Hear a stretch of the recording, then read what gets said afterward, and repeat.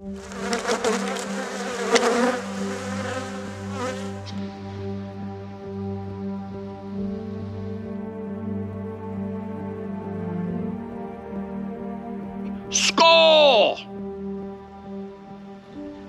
Oh, yeah.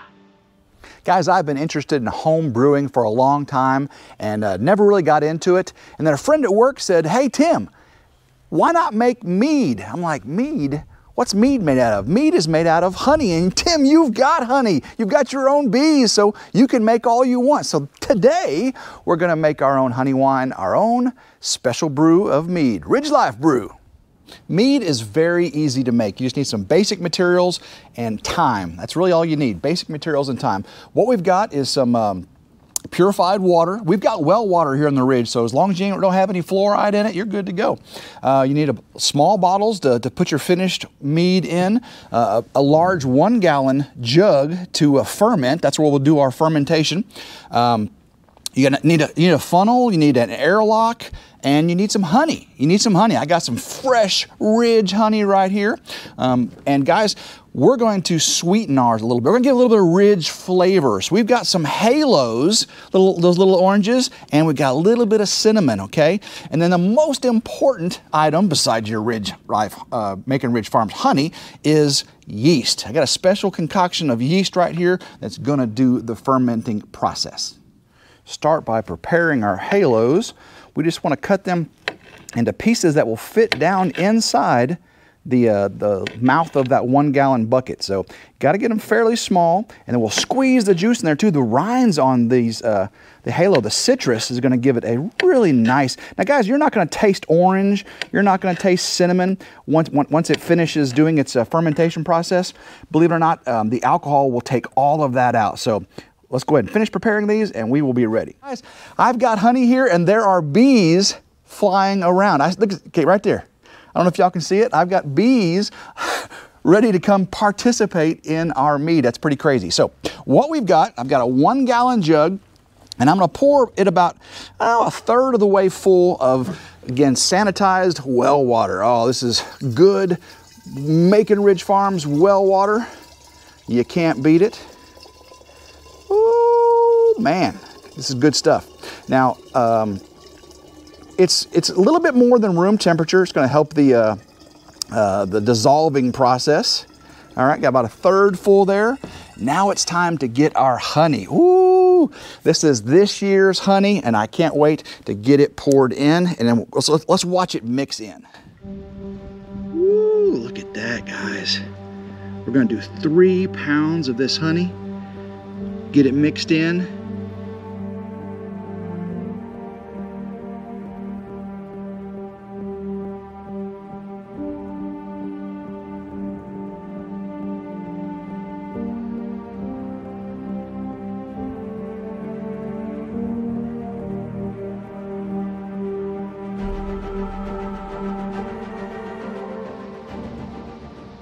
Guys, doesn't that look scrumptious? Wow, look at that all mixing in there like that. That is so cool. Guys, look on the uh, honey jug right there. I've got a bee landed on it. I don't want to get that in my mead. Come on, little girl. You need to go away there. Come on. Go away. There you go. Get her out of here. Let's go ahead and get, we're going to do, again, three pounds of honey. And uh, I'll, I'll, I'll weigh that out here in just a second. I know how much this jug weighed. Get that mixed in, then we'll start to uh, shake it up. Now we've got our honey in there. It's time to get our citrus in. We're to again squeeze it, drop it. Squeeze it, drop it. This is to what? Give it a little extra Ridge Life kick. And this is gonna, we'll get it all mixed up in there. Oh, I can't wait to try this. This it takes a while for this process, guys, making mead, but it is so worth it. So, so worth it.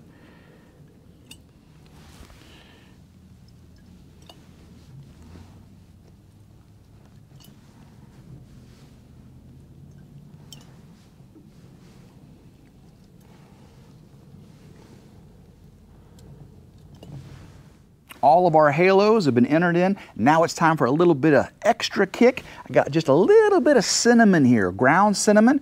I'll put that right in on top of there. Not too much, you don't want to overpower it. Then of course, we've got the most important thing, our yeast mixture, okay? This is our yeast mixture. get this added in there.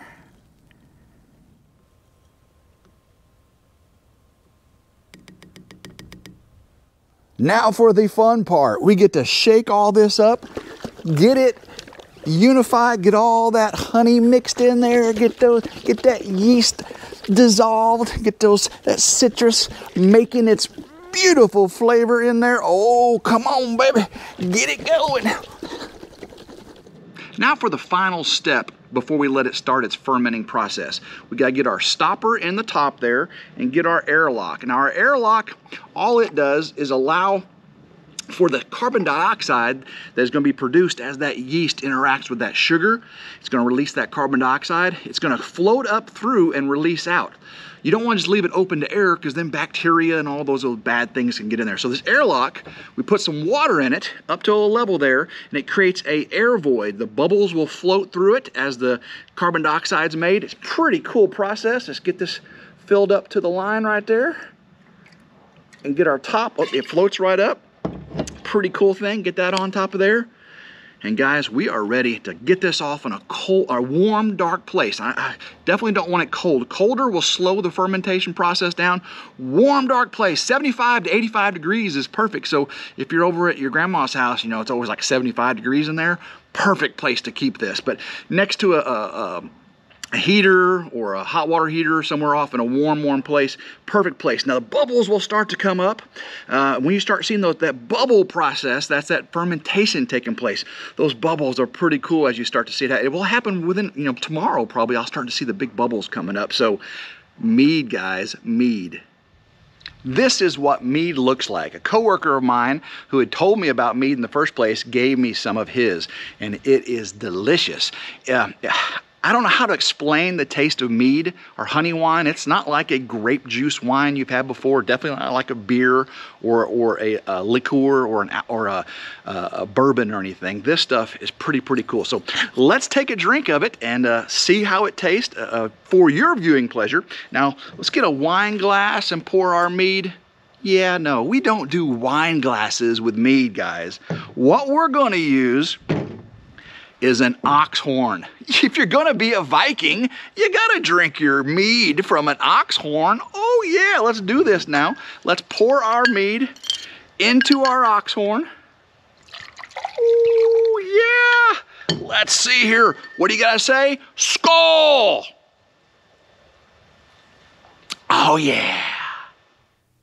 We've had our mixture fermenting for about three weeks now, and the bubbles have really started to slow down. Now, we kept this in a dark room. We used a space heater set to 77 degrees, so it regulated 77 degrees. About 75 to 78 would be ideal for this. Um, for this mixture and man it kept it bubbling it just bubble bubble bubble bubble bubble we had lots of bubbles uh, check the video out right here look at all these bubbles uh, as we were fermenting Really, really cool stuff. So uh, we are ready. I, it, it is slowed down enough. We are ready to what's called a cold crash. We're going to put this mixture in the refrigerator and what that's going to do it's going to slow all any yeast that's left in there to uh, to react with the sugars it's just going to drop them out going to just kill them drop them to the bottom and those droppings are called lees okay the, that's what everything that the, the reacted yeast uh, leaves lees. I don't know why they call it lees, but that's what they do. So, and normally you can just put this right in your refrigerator. Uh, if, if it doesn't fit with your um, airlock on there, you can just take the airlock off and put a balloon over it. You don't want to close the lid for sure because any uh, CO2 that does continue to get created will cause your bottle to explode and that's not good. So uh, it won't fit in our refrigerator with the airlock on, so I'm just gonna put a balloon on it, keep an eye on it, and release the CO2 every once in a while if needed. But I think this thing is pretty, pretty much done. Now what it does, the yeast it, um, interacts with the sugars and creates alcohol. Once the alcohol level gets up to a certain level, it kills off the yeast. So it kind of stops itself at a certain level. Now you can stop it earlier uh, to get a, um, a, more sweet, less dry um, wine or mead. Uh, I like mine pretty sweet, but you can always back sweeten as well. When you're all done, get it all racked into bottles, or uh, before you bottle it, you can uh, sweeten it to taste as well if you don't like a really dry wine or mead. So what we've got is a pre-sanitized, another gallon jug. Now you can put this right in there with the, the orange and everything. I'm, I'm gonna pour it out into here so that way I don't have any of the oranges in there when I go to rack it into bottles. I don't want all those oranges and stuff in there. So just I'm, I'm, I'm, going straight to this jug here and then into the refrigerator. Now to sanitize everything, guys, I've been using Star San. Uh, Star San you can get off Amazon and this, this will make about a bazillion gallons. This is industrial for cleaning surfaces of restaurants and all that stuff. Uh, it's a very, very good no rinse sanitizer. I still rinse it off, but um, pretty good stuff here. And you don't take much. Read the follow the directions for how much you're making. And I sanitize the, the funnel, the airlock, the bottles, everything. And the yeast we're using, guys, you're like, hey, Tim, what kind of yeast can you use? Can you use brewer's yeast, baker's yeast? Um, I think you can use whatever yeast you want. Some people say, oh, no, you got to use a special brewer's yeast to make this wine perfectly. Whatever. But um, what I've got here is uh, Brewsy Brewsy's yeast that comes very convenient in a package right here. You pop it open, you pick, you pour it in, it does this thing. You saw I had a little scoop. And what it is, is from um, uh. Uh, makes it very, very easy. It comes with the airlock, the bottle. I got a starter kit and comes with the bottles and all that stuff. And then you can just buy more of these packages if you want. So pretty cool stuff. So what we're going to do is get this poured into there. So I've already got everything nice and ready. So I'll take the airlock off. Oh, let's see what this smells like. Oh, okay, put that down right there. It'll be all right.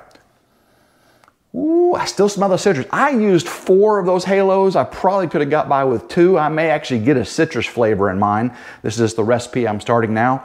Um, I did do a little taste test about two weeks into it it was tasting so good.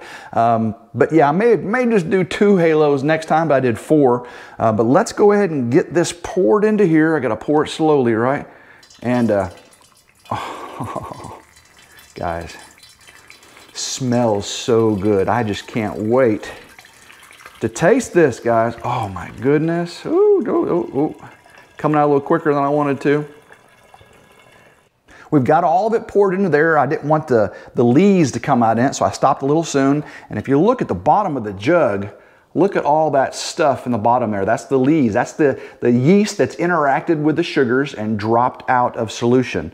Uh, so I don't want that in there. And what's going to happen is you see this is very opaque. Now it's a lot more opaque because I use so much halos, the citrus there.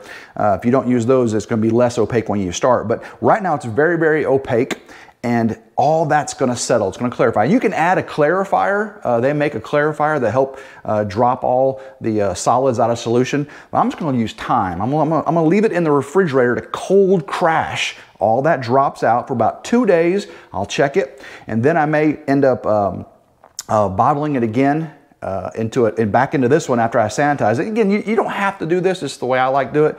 I bring it back into there, get it as clear and clear as I can, and then I will rack it into bottles and make some mead. Oh yes. And guys, mead gets better with time, and I'll show you that as we go. So let's get the balloon on here. Oops, let's get the balloon on here. And then we can get it into there we go. See the balloon is right top. Get this in the refrigerator, let it cold crash for at least two days. We've had our mead in the refrigerator for a couple days and look how clear it is. All of the lees have settled to the bottom and it, it is it's still a little opaque, but man, it is much, much clearer than it was. Again, this is just over two days. So we're going to uh, use our another gallon jug here. We're gonna siphon it out rack it. It's called racking it from this bottle to that bottle. Leave all the lees at the bottom. Yeah, pun intended. And probably just do this one time and after that it will be bottling. Mm. We can see here I've got a white balloon on it. Uh, the first day I put it in, I pulled it out to check something and I, I ripped a hole in the, in the red balloon. The red balloon had blown up a little bit, but once it cooled down in the refrigerator, uh, you can see there's hardly any gas been created at all. Again, that is very, very clear compared to remember how opaque that was before. So we, we have our sanitized one gallon bucket. Let's go ahead and take off the uh, balloon. We'll reuse that after this first racking. I've got a tube here And I'm gonna siphon this off. And uh, there's different siphoning mechanisms you can use without, you just, you pump it up and down and it starts to siphon. I'm gonna use the old method right here and uh, it will be just fine. Uh, I'll use my hand to uh, keep the germs off of the tube. So I don't wanna make sure, I wanna make sure that I don't get the tube all the way down into the lees. So just into the liquid there and I'm gonna regulate the flow into our one gallon jug. Is it going? Oh, almost. Ooh, that tasted so good. I got a taste of it. Oh my goodness. And it's coming down. We can see it filling up. Oh, that looks so clear, guys. So clear. I stopped about halfway through. You can see some of the lees that started getting up into there. I'll let that settle out and siphon off the rest. But look how clear that is, guys. Look how beautiful, crisp, and clear. And again, I tasted a little bit when I was siphoning there. You don't want to do that. But it was delicious, way much better than it was before with all that yeasty taste. So we'll get this uh, finished racking out today. We'll do a couple more days, rack it out into our bottles, and we'll come back for a taste test. So we let our once racked mead settle in the refrigerator again for a couple more days, and more has settled to the bottom, guys. There's more of a line at the bottom there.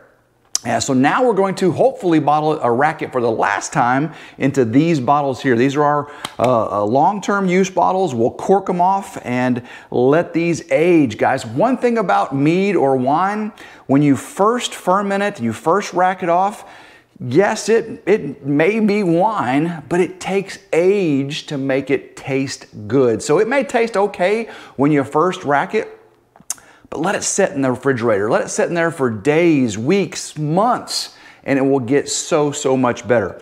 Um, another thing you got to remember, guys, is it may still develop a little fermentation. So if you're going to cork it, make sure you uh, check it every once in a while, uncork it, because you don't want anything blowing up. But you know, as many times we've racked and let this settle, uh, I, I'm not getting much fermentation, especially in the cold. If you leave it out in, in the open, uh, it may be too warm.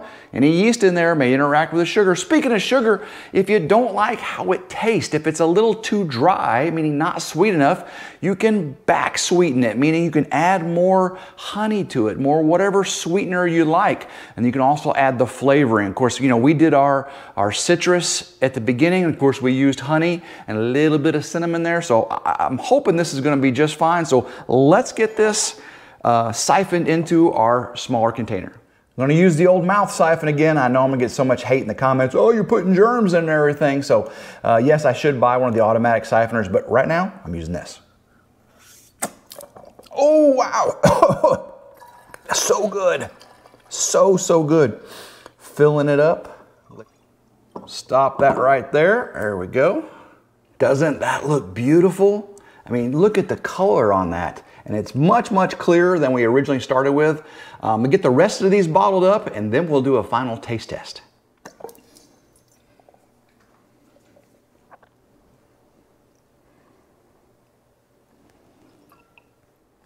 Look at this beautiful mead, guys. This is honey wine. Look at the color on that. Isn't that just gorgeous and light? Uh, it's not quite perfectly clear. It'll still continue to settle some more. Again, you can rack these as many times as you want if there are any more lees that fall to the bottom. Um, guys, let's do a taste test. I've already got some poured out. And guys, if you're gonna drink mead, honey wine, the way the Vikings did it, you need to do it out of an ox horn. That's right, an ox horn. Um, I poured a little bit into here. Let's see what it tastes like.